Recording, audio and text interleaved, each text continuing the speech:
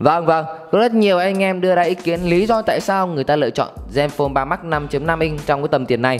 Và hôm nay mình sẽ chia sẻ lại với mọi người một số cái có thể các bạn đã bỏ qua và chắc chắn cái điểm đầu tiên đó lại là pin. Ai ai cứ nói rằng mua Zenfone 3 Max 5.5 chỉ vì pin vì nó có dung lượng khá lớn là 4100 mAh. Hiện tại thì mình cũng đã từng có bài test pin rồi nói chi tiết về việc nó sử dụng như thế nào. On screen chiếc máy này là cực kỳ thoải mái với phần lớn nhu cầu kể cả chơi game, giải trí, làm việc văn phòng. Và có thể khẳng định pin của chiếc Zenfone 3 Max này phải gọi là pin khủng long chứ không phải là pin bình thường và nó được xem chính là xương sống của Zenfone 3 Max 5.5. Cái lý do thứ hai đó là chiếc máy này có một cái khả năng đặc biệt là sạc pin được cho máy khác hay chúng ta hay gọi dần dã là phi xã giao phi từ con này sang con kia. Với điều đó thì trang bị cáp USB OTG ngay trong hộp máy. Các bạn có thể sử dụng để sạc nó như cục pin dự phòng cho các thiết bị xung quanh.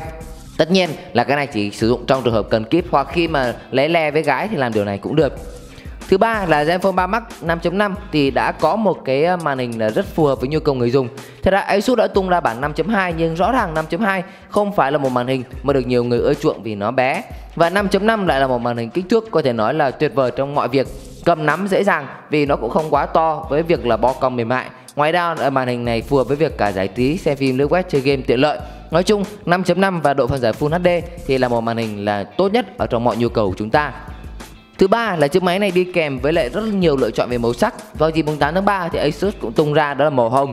Nên như vậy tổng cộng đã có 4 màu đó là màu vàng cát, màu xám titanium, xám bạc và hồng tươi. Thì như vậy là mọi người sẽ có rất nhiều màu chúng ta mua. Trong khi đó trong cái tầm tiền của mọi người nếu lựa chọn các smartphone trên thị trường thì nó lại khá hạn chế về màu. Có thể chỉ tập trung vào các màu như màu rose gold hoặc là màu vàng. Còn có những hãng này lại chỉ có là được màu màu đen hoặc màu trắng chẳng hạn. Thì Asus đưa ra bốn sự lựa chọn về màu cho anh em.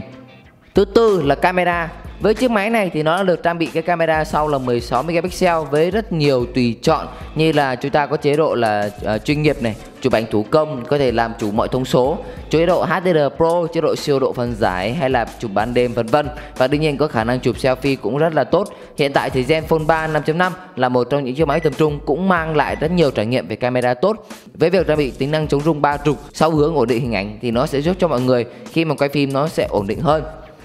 Điểm tiếp theo là Asus Zenfone 3 Max đi kèm với cả miếng vân tay là một chạm với tốc độ là 0,3 giây. Các bạn chỉ việc đặt nhẹ lên là nó sẽ mở khóa thành công. Và trong phần lớn các thao tác trải nghiệm của mình thì Zenfone 3 Max 5.5 đều có cái vân tay hoạt động rất là chính xác, không mất công phải chờ đợi.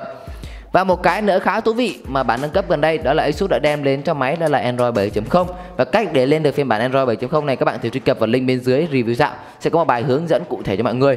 Lên 7.0 Zenfone 3 Max để tận dụng được tối đa kích thước màn hình lớn. Ví dụ như mọi người có thể sử dụng song song hai ứng dụng trên cùng một màn hình bằng cách chỉ việc kéo lên và chúng ta có thể sử dụng mà vừa giải trí YouTube và vừa có thể nhắn tin với bạn bè chat chít qua lại rất là đã và có thể tối ưu hóa màn hình hiển thị để xem được nhiều không gian, nhiều thông tin hơn rất là hay. Đây là một trong những model ở phân khúc tầm trung rất hiếm hoi đã lên được Android 7.0. Một trong những tính năng nữa mà có thể là nhiều bạn không biết hoặc các bạn không sử dụng đó chính là Game Genie.